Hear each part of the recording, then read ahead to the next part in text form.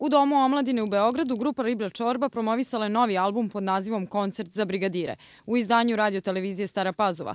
Pored CD-a sa pesmama koje su snimljene uživo na omladinskoj radnoj akciji Đerdap 1985. godine, promovisana je i LP verzija, odnosno prva gramofonska ploča koju je Riblja Čorba objavila nakon 20 godina.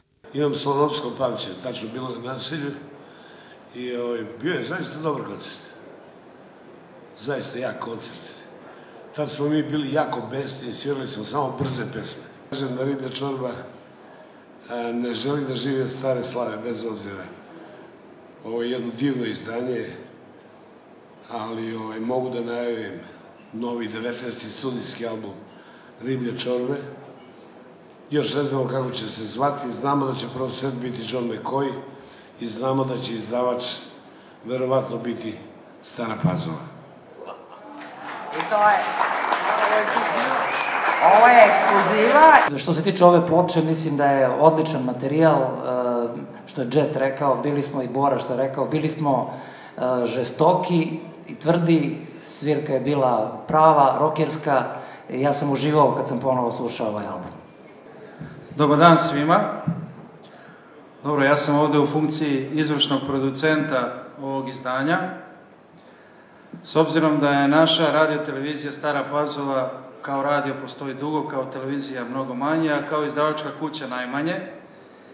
I eto, potrudio sam se da neko svoje slobodno vreme i ljubav prema muzici usmarim ka tome da e, budem izvršni producent zato što to našu televiziju, odnosno našu izdavačku kuću neće ništa da košta.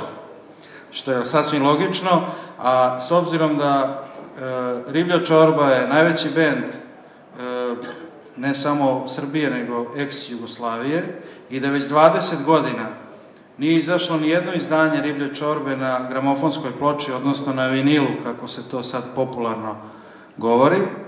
Bilo je pravo vreme da bude izdat jedan vinil koji je u ograničenom tiražu od hiljadu primeraka i neće biti do štampavanja, znači moraju svi oni ljubitelji i dugogodišnji pratioci riblje čorbe da budu brzi da bi došli do ove ploče.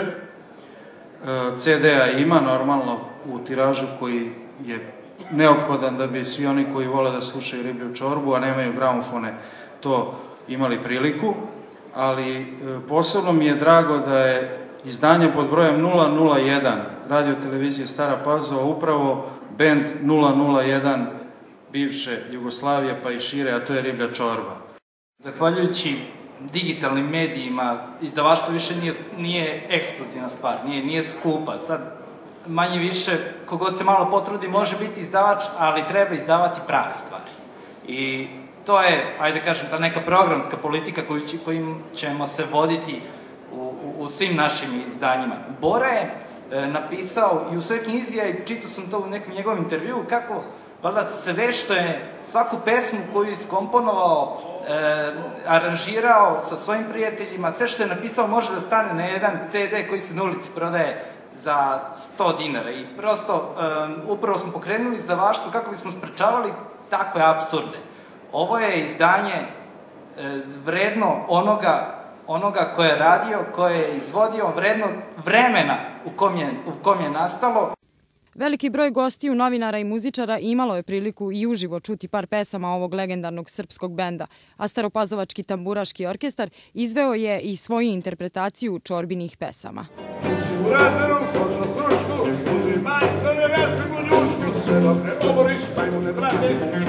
umeti da da sami!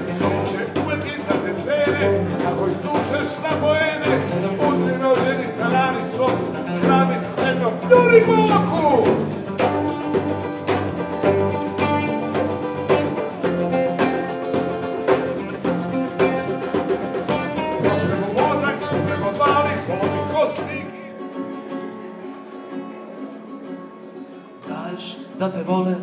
Glumci, režiseri, novinari, ljudi neznani i znani Poješće te brzo. Velegradske zveri Ali ti ćeš biti na naslovnoj strani. Statirat ćeš možda u po nekom filmu Možda ćeš reklamu snimiti za TV Neće te ko što razmenjuju reči Iza tvojih leđa prije Ovaj album predstavlja autentičan zapis pesama Riblje čorbe sa albuma Istina koji su davne 1985. godine promovisali na turneji. A kako je već ekskluzivno Bora Đorđević najavio na promociji, 19. album Riblje čorbe najverovatnije će biti u izdanju radiotelevizije Stara Pazova.